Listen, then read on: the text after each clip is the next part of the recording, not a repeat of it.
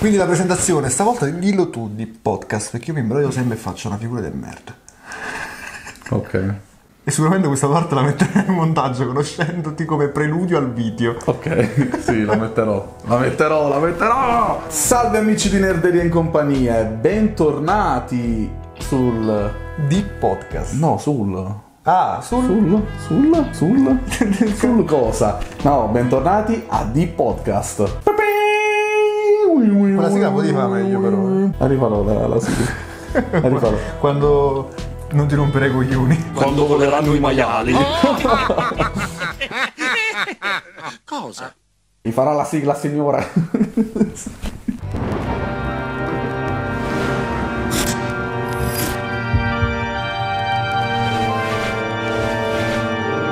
Ad ogni modo, bentornati sulla nostra rubrica horror che come ho detto non fa paura a nessuno. In effetti no, cioè... Te fa un po' di paura, un po', un po' così. No, dai. in realtà fa ridere, cioè, Fa ridere. sono molto comici i video più, che, co- più che horror. A voi fa ridere? Speriamo di sì. Comunque, come al solito, mi presento. Io sono. Era Io sono Herald Richards e lui è. Alessandro. No, lui è anche. Varavan. Varavan. Facciamo uscire Varavan qui da qualche parte. Eccolo. Stavolta a testa in giù. Bene, come da titolo, oggi parliamo di un argomento. mm, un po' par- un po' particolare. L'unico argomento che mi interessa, tra l'altro, di quelli discussi finora. E che abbiamo fatto fino adesso? che abbiamo parlato fino adesso? No, nel senso che almeno questo è un argomento che un minimo rispetto agli altri erano tutte stronzate, beh, per lo più. Eh sì. Eh, scusami, giù. una era il- i rettiliani e l'altro era l'esorcismo. Cioè, due cose che stavano in cielo né in terra. L'esorcismo. Stavano in cielo né in terra. È bestemmiata. I fantasmi invece l'argomento serio, finalmente sai Vabbè, perché comunque un minimo ci credo, capito? Ah, non al tipo, tipo, col- tipo con lenzuolo, però in generale a. non so come si dica, paranormali. Paranormale, sì. Eh, questo sì. Paranormale. Il video parle- parlerà di fantasmi. Parleremo ovviamente di case infestate, parleremo di... di porco... porco... È bestemmiata. Ecco, partiamo da questo. Come lo intendi il fantasma? Un essere umano, normale. Però ovviamente eh, c'è. Potrei essere anche io un fantasma, quindi. Eh sì, tecnicamente sì, perché non, cioè, non me lo immagino nemmeno. Forse. Cos'è sto rumore? È il fantasma, il fantasma di Siri. Eh, me lo immagino però casomai un po' più cadaverico. Perché è morto. Eh, ma non è tipo zombie, cioè qual è il... No, no, no, è così, è normale. Però giustamente, essendo un fantasma, può apparire, andarsene, cazzo, volte forse è incorporeo. Ah, Però c'è di una cosa che alcune storie di fantasmi prendevano oggetti, oggetti nostri, tipo, Sì. tipo ombrelli, eccetera, eccetera. Era come un fantasma. È così che lo chiami tu? Noi lo chiamiamo rapina continuata di camion. Aggressione. Cioè, passare attraverso le pareti. Allora, in, in generale, un fantasma deve essere fatto di materia, perché qualunque cosa in questo universo è fatto di materia, giusto? sì. Tuttavia, quando un corpo muore, sai quella leggenda che perde 5 grammi là, quella cosa, e si pensa che è l'anima? Mm. Eh, non, è- non, non era quello, è stato smentito, sono, è aria o gas. Ah, aria. beh, sì, ma lo immaginavo. Trattasi senza dubbio di fantasma scorreggiatore. Quindi deve essere forse fatto di materia. E come può la materia collidere con un altro oggetto e passarci attraverso, capi? Eh, in effetti. Quindi non sono fantasmi. Eh, questo è il fatto. Quindi al massimo io penso che si teletrasportano, non lo so. Perché cioè, non, non penso che sia tipo visione della Marvel che può passare attraverso le cose. Tu invece come lo immagini un fantasma? Stile Oblivion? Io no, no, in realtà io immagino, mh, essendo molto legato ad una visione matematica della realtà, io immagino che tipo ci sia Codice binario. Esatto, ci sia una matematica che regola la realtà che è la vita, quella Eh. nostra carne, sangue, ossa. Esatto, insomma. sì, è tutta matematica. Poi nel momento in cui si muore c'è una matematica che mh, controlla l'anima. Insomma, Quindi diciamo che noi non possiamo vedere l'anima, calcolare la materia, Perché eccetera, esatto. perché appartiene a un altro virgolette, universo in cui è gestito da un altro tipo di matematica. Esattamente, però alle volte ci sono degli errori, delle cose che non calcoliamo, quindi può capitare. Che qualcuno piace veda come... In realtà ho anche un'altra visione, però per sapere qual è quest'altra visione potete andare su Amazon e potete andare a cercare I Guardiani del Limbo e altri racconti, dove vi parlo della mia... Marchetta! No, scherzo a parte, andateci. Mi sono un pochino informato, il minimo che mi sono informato. Alcuni vedono la differenza tra ectoplasma e fantasma, perché l'ectoplasma è effettivamente la materia di cui è fatto eh, il fantasma. fantasma. È come se il plasma, ossia il sangue, Mm. fosse la nostra materia. L'ectoplasma è quello di cui è fatto. Quindi c'è descritta come viscida, morbida o solida, fluido o vaporosa, fredda ma asciutta al tatto. Fa schiuma ma non è un sapone, che cos'è? L'ectoplasma fuoriuscirebbe almeno in alcuni casi oltre dalla bocca da qualsiasi orifizio del corpo. Sai che bello, mamma mia. Compreso orecchie, naso, occhio, ombelico, capezzoli e vagina. Cioè, no, in pratica il medium va seduta e dal suo corpo esce sta roba che assume forma umana, tipo di braccia, gambe, capito? Ah, ok, quindi la Però sostanza... comunque se il medium è potente, il fantasma è, sogge- è soggetto al suo volere tecnicamente. Quindi quindi non poteva fare che cazzo vuole. E Eh, in base a che cosa il medium è potente oppure no? E beh, penso forza di volontà. Oppure poteri psichici, quei, poteri Ah, ok, stupidi, quindi- capito? Viene più mana, viene più Alterazione accento. no, evocazione. evocazione. Io non sento la sua voce. No, aspetta. Avverto qualcosa. Dobbiamo distinguere anche i vari tipi di fantasmi. E quindi parte già adesso la classifica solita di, di podcast. Perché c'è una classifica di fantasmi? Sì, la differenza tra poltergeist.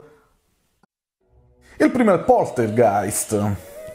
Che esiste anche un film poltergeist che tu No, sicuramente non l'avrò non l'hai visto. È uno spirito chiassoso. Il termine di origine tedesca descrive tutti quei fenomeni come lo spostamento di oggetti, il rompersi di piatti, lo sbattere delle porte, ma anche voci e rumori. Aspetta, sarebbe quello che sposta i divani, gli oggetti, di Esatto, il, catene. il poltergeist, um, da, da quello che abbiamo, insomma, che ho letto, mi ci siamo informati, Mm. è, un, um, è quello che viene definito il, il caotico. Non necessariamente proviene da una persona realmente Mm. esistita, semplicemente sono dei residui uh, impazziti, folli di ectoplasma che creano questa, questa creatura. Pix dentro il libro di Harry Potter fa certe cose ai limiti dell'omicidio. Eh certo, certo, perché sono, perché sono folli, Eh. sono pazzi. Residui psichici. Appaiono sempre nello stesso identico modo, nello stesso posto, facendo gli stessi gesti. È uno spettro ambasciatore di morte, si manifesta ai parenti di una persona morente con le sembianze del malato. Ah. Cioè, aspetta, non credo l'ultima parte. Ah, quindi c'è in pratica io ho il cancro e arriva questo che prende le mie sembianze È, una- è un ambasciatore e di morte. mamma. È un ambasciatore di Ah, per morte. dirgli, vedi che muore. Eh sì sì sì, Ah. non, non c'è più niente da fare signora. Deve passare il cavallo di San Bartolomeo.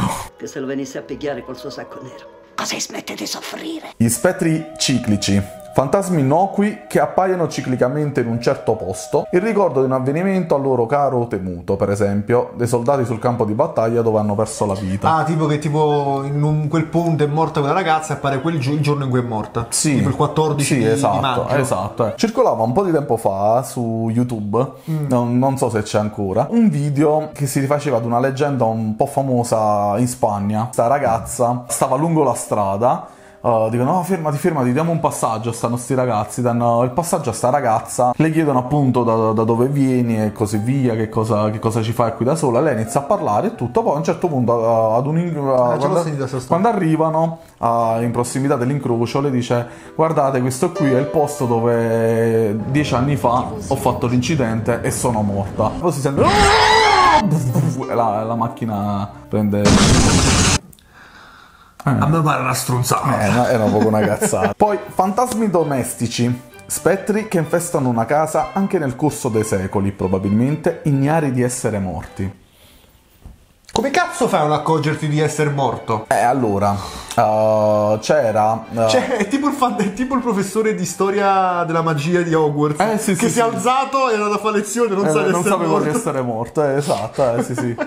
Cos'è il professore di storia della magia? Eh, non lo so, è, è- Facciamo una cosa, adesso in post produzione mi ridoppierò dicendo il nome, adesso muovo soltanto la bocca.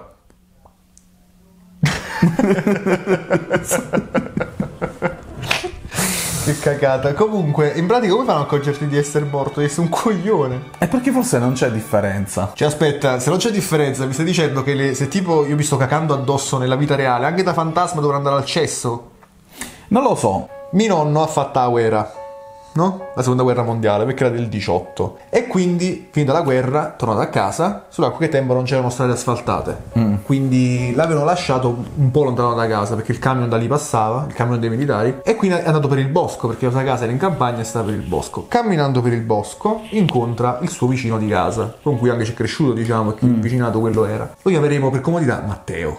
Matteo. E mio nonno dice, uè Matteo, ce l'hai fatta pure tu, sono contento, mi fa piacere, no? Dice, ah sì sì, felice, l'ho già fatta pure io. Si chiama Felice mio nonno. Ce l'ho fatta pure io, felice, ma mi devi fare un favore, tu devi andare da mia mamma, quando puoi, eh, domani, e digli che io sto bene, tutto a posto, e che voglio bene. Vabbè, ti faccio sto favore. Torna a casa, eh, ovviamente lo abbracciano, eccetera, perché non sapevano se fosse vivo o morto, quindi gli danno da mangiare perché gli passano quel che erano. I fagioli comunque erano uno schifo. E lui mentre stava mangiando dice, ah sapete, sapete che ha già incontrato? Ho incontrato Matteo, sono contento che ce l'ha fatta. Ah, ok, felice. Ma ho fatto a dormire, sarai stanco.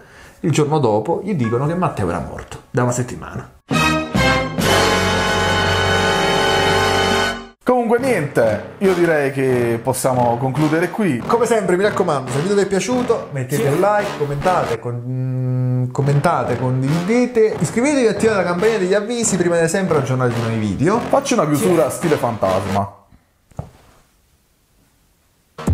Please tell me that I can't, that I won't, that I fail, that I'll never make it out, yeah. Please tell me all the bad, never good, fill my head full of every single doubt, yeah. Please say any negative thoughts, I pop off when I hear people say I cannot, I get